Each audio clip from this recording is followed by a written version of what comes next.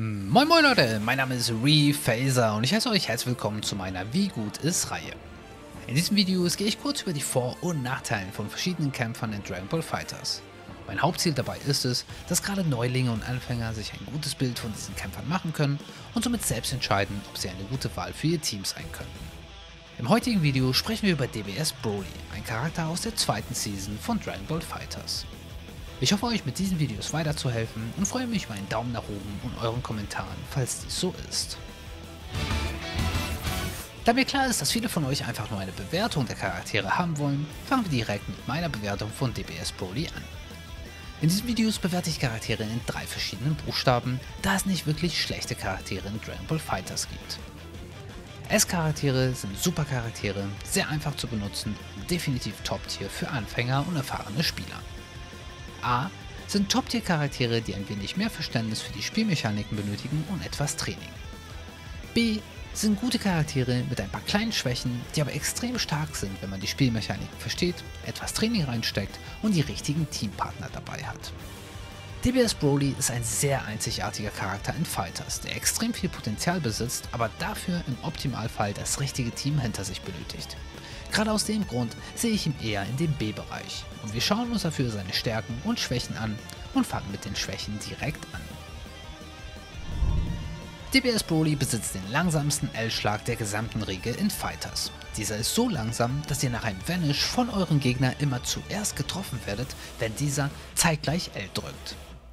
Zudem hat er bis auf seinen 2M, welchen er bis zu viermal aneinander ketten kann, keine Attacke, die tief trifft. Er hat zwar andere Tools, auf die wir in seine Stärken eingehen, aber nur eine tief treffende Attacke, die auch nach dem zweiten Mal hintereinander direkt reflektet werden kann oder der Gegner kann einfach rausspringen. Das ist sehr schwach für das Mix-Up-Potenzial und deswegen ist DBS Broly stark auf Assists angewiesen. Auch die Kombostruktur von DBS Broly ist recht anders und benötigt gerade von Anfängern einiges an Anpassungen. Er hat keine Standard 2H in der Luft für Komboverlängerung und nach einem M kann er keine 2 Ls machen, sondern nur einen, da sein Jump L auch verdammt langsam ist. Und er hat auch deutliche Probleme, einen Sliding Knockdown zu verursachen aus fast all seinen Kombos.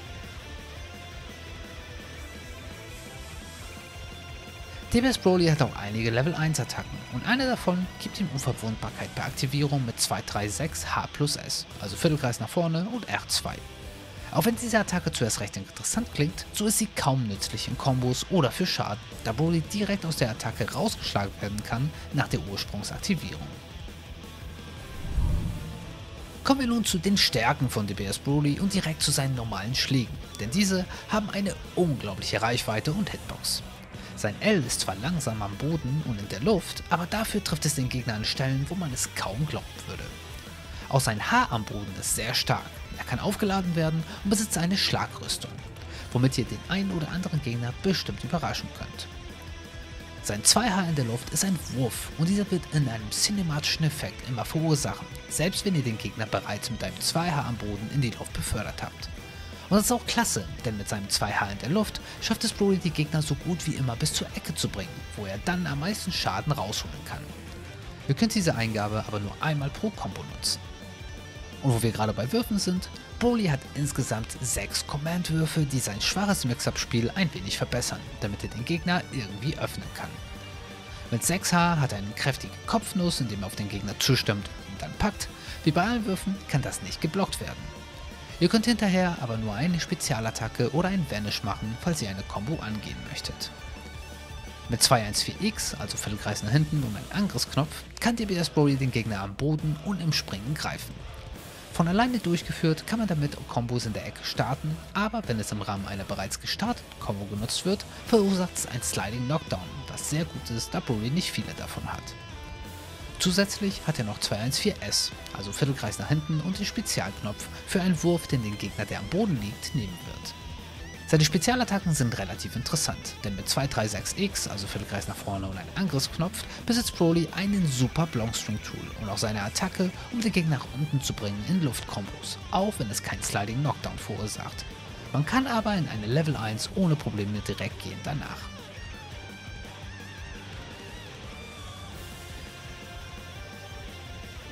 Was Ki-Attacken angeht, ist Broly auch sehr gut ausgerüstet. Mit seinen S-Ki-Attacken, die sehr schnell rauskommen, einem Beam mit 2S, was auch sein C-Assist ist, und mit 236S, Viertelkreis nach vorne und die Spezialtaste, ein gutes Neutral-Tool, welches in der Nähe des Gegners zu einer Art Grab wird und einen Sliding Knockdown verursacht. Und zu guter Letzt hat die BS Broly auch einige Superattacken.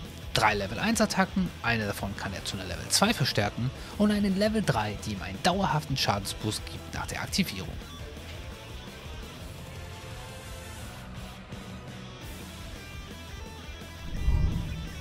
Da wir uns nun seine Besonderheiten angeschaut haben, wo spielt man DBS Broly am besten? Wie schon erwähnt, ist DBS Broly ein sehr eigener Fall. Er bietet einige Tools, die ihn zum Point-Charakter machen, aber gerade weil er durch seine Level 3 erst seine vollen Schaden bekommt, würde ich eher vorschlagen, ihn an zweiter Stelle, also mitzuspielen. Ein stärkerer Point-Charakter kann euren Gegner an Low- und Overhead-Mix-Ups gewinnen und dann kommt ihr mit DBS Broly rein und fangt an, einige nette Command-Grabs ins Spiel zu bringen. Das ist ein großer Teil eures Spielplans mit DBS Broly. Einige interessante Teams rund um DBS Broly sind das legendäre Super Saiyajin Team, Wir hassen Goku, Ich werf dich und Big Bad Saiyans. Zum Ende hin noch zwei kleine BMB-Kombos für DBS Broly. Der Starter kann in diesen Kombos 2L, L oder auch Instant Air Dash Heavy sein. Ich starte sie gerne mit einem Instant Air Dash H.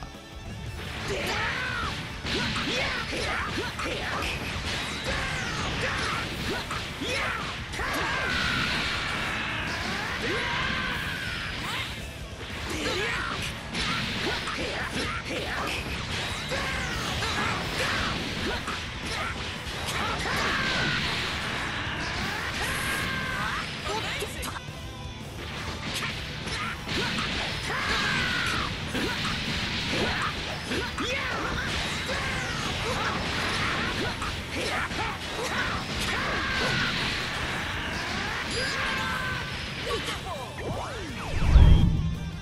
Ich hoffe euch mit diesem Video ein gutes Bild von DBS Broly vermittelt zu haben. Ihr könnt mir gerne weitere Charaktere für diese Videos unten in den Kommentaren vorschlagen. Ansonsten könnt ihr euch selbstverständlich gerne mein letztes hochgeladenes Video oder auch die Dragon Ball Fighters Anfänger Playlist anschauen und mich auch abonnieren, falls ihr auf Anime, Anime Games und Fighting Games steht.